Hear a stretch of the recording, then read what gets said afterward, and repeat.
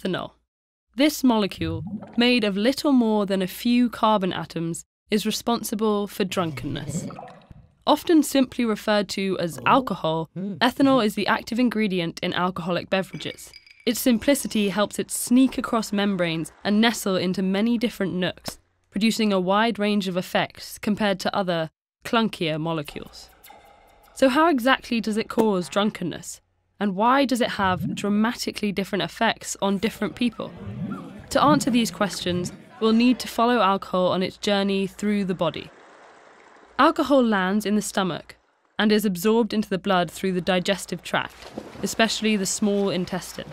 The contents of the stomach impact alcohol's ability to get into the blood because after eating, the pyloric sphincter, which separates the stomach from the small intestine, closes. So the level of alcohol that reaches the blood after a big meal might only be a quarter that from the same drink on an empty stomach.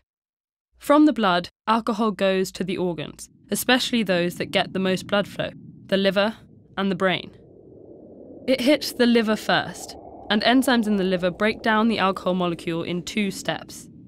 First, an enzyme called ADH turns alcohol into acetaldehyde, which is toxic. Then, an enzyme called ALDH converts the toxic acetaldehyde to non toxic acetate. As the blood circulates, the liver eliminates alcohol continuously, but this first pass of elimination determines how much alcohol reaches the brain and other organs. Brain sensitivity is responsible for the emotional, cognitive, and behavioural effects of alcohol, otherwise known as drunkenness.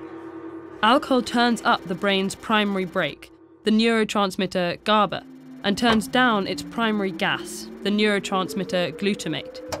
This makes neurons much less communicative, and users feel relaxed at moderate doses, fall asleep at higher doses, and can impede the brain activity necessary for survival at toxic doses.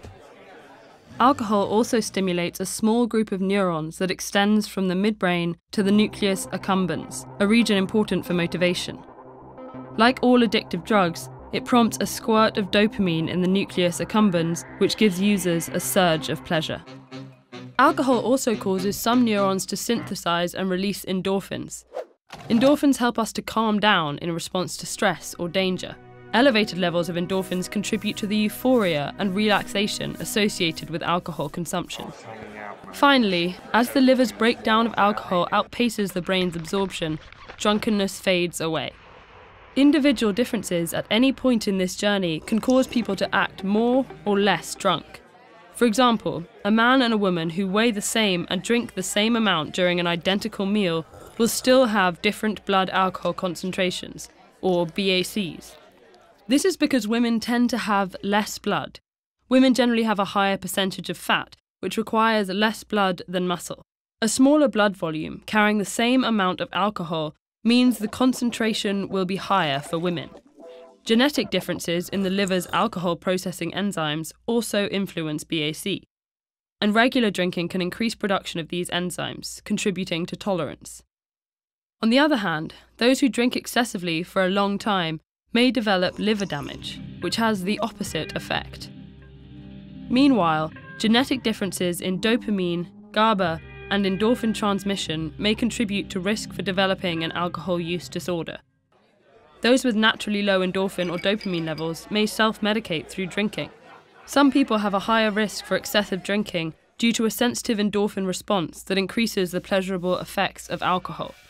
Others have a variation in GABA transmission that makes them especially sensitive to the sedative effects of alcohol, which decreases their risk of developing disordered drinking. Meanwhile, the brain adapts to chronic alcohol consumption by reducing GABA, dopamine, and endorphin transmission and enhancing glutamate activity. This means regular drinkers tend to be anxious, have trouble sleeping, and experience less pleasure. These structural and functional changes can lead to disordered use when drinking feels normal, but not drinking is uncomfortable, establishing a vicious cycle. So, both genetics and previous experience impact how a person experiences alcohol, which means that some people are more prone to certain patterns of drinking than others and a history of consumption leads to neural and behavioural changes.